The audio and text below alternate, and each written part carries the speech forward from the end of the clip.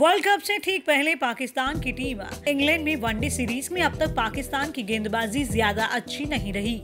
दूसरे मैच में पाकिस्तानी गेंदबाजों ने 350 से ज़्यादा रन दिए।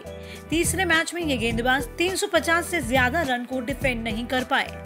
ज़ाहिर है स्थिति में पाक चयनकर्ताओं को दिख गया कि इस बार इंग्लैंड में क्या होने वाला है। अब पाकिस्तान क्रिकेट मैनेजर्स ने अपनी 15 सदस्यीय टीम में बदलाव किया है।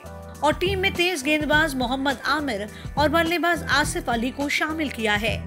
पाकिस्तान के चीफ सेलेक्टर इंजमाम उल हक और मुख्य कोच मिकी आर्थर ने काफ़ी बातचीत के बाद दोनों को वर्ल्ड कप टीम में जगह दी है।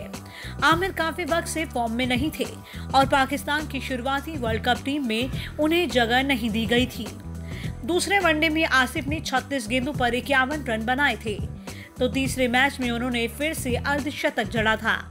उनकी इस पारी के बाद ही उन्हें वर्ल्ड कप में जगह मिली है। वहीं मोहम्मद आमिर को इस वक्त पाकिस्तानी गेंदबाजों के खराब प्रदर्शन की वजह से टीम में शामिल किया गया। वसीम अकरम ने भी आमिर को टीम में शामिल करने की वकालत की थी।